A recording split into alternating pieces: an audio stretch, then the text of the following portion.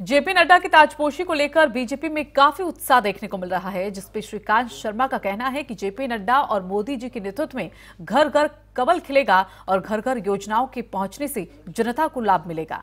आइए देखते हैं श्रीकांत शर्मा का क्या कुछ कहना है। यूपी सरकार के ऊर्जा मंत्री श्रीकांत शर्मा हमारे साथ हैं। श्रीकांत जी, केंद्रीय नेतृत्व में आप काफ़ी दिन रहे, केंद्रीय कार्यालय आपने देखा है। किस तरह से नड्डा जी के कार्यकाल को देखते हैं? देखिए, शुभकामनाएँ हैं। अब ये प्रक्रिया चल रही है, लेकिन प्रक्रिया पूरी होगी और क्योंकि अमित भाई अब सरकार में गृह मंत्री के रूप में काम कर रहे हैं। सभी पूर्व अध्यक्षों का सहयोग नड्डा जी को मिलेगा और नरेंद्र भाई मोदी जी के नेतृत्व में और तेज गति से घर घर कमल खिले, केंद्र की जो योजनाएँ घर घर तक पहुँचे, पार्टी का खूब विस्तार हो, इस सब की सब लोग सहयोग करेंगे और आगे हम बढ़ेंगे। चुनौतियाँ बहुत है क्योंकि कई राज्यों में बीजेपी भाग्यशाली है कि हमें हमारे पास एक ऐसा नेतृत्व है नरेंद्र भाई मोदी जी के रूप में जो चुनौतियों को सफलता में तब्दील करता है।